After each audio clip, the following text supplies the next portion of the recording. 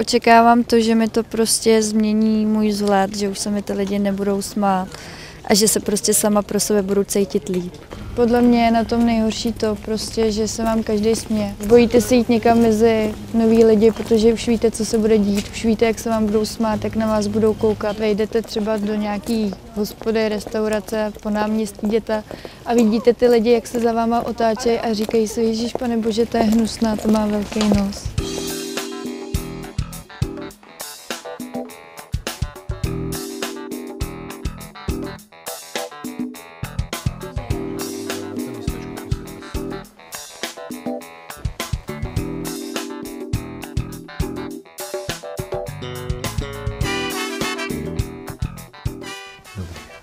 Takže když se podíváte do zrcadla, Tak určitě bych tohle chtěla narovnat.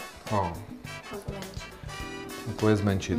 Takže je to otázka jednak toho hrbolu tady, který máte, takže ten nosánek bychom srovnali, ne žádný pršáček, ale v podstatě srovnat dorovna, aby tam ten hrbol nebyl. Zjemní se trošičku ta špička, malinko se to zúží a tenhle ten hrbol se odstraní. Jo? Když si představíme ten nosánek, já to teďka malinko přeženu, nicméně, abyste viděla, tak, problémem tam je jednak samozřejmě ten herbol, ale jednak to, že celý ten nos je hodně dlouhý, hodně velký.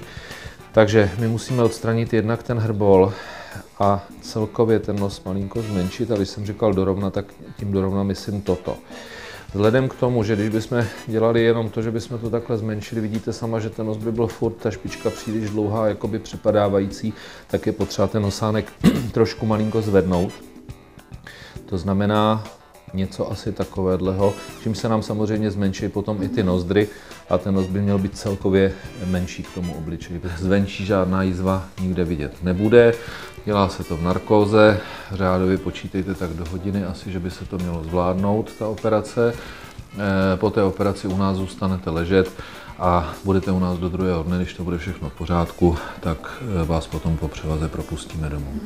To nepatří k bolestivým operacím, čili nečekat žádný veliký bolesti po té operaci. Vy budete vnímat, že jste po operaci, ale žádné velké bolesti bych tam určitě nečekal. Co je ovšem nepříjemné, je to, že jednak je na nose sádra, ale kromě toho je tam i masná tamponáda v těch nosních dírkách, takže vy nebudete moct dýchat nosem, ale budete muset dýchat pusou. No, kromě toho budete mít velké otoky víček a určitě se nevyhnete poměrně velkým modřinám v oblasti těch spodních víček. Jo? Eh, Co se týká těch otoků, když to budete řádně chladit, tak jak si řekneme, tak by během těch prvních třech, čtyřech dnů se to nejhorší mělo vyobkladovat. Eh, Co se týká těch modřinek, tak ty by měly zmizet do té doby, než my sundáme tu sádru, což by bylo zhruba asi po 14 dnech.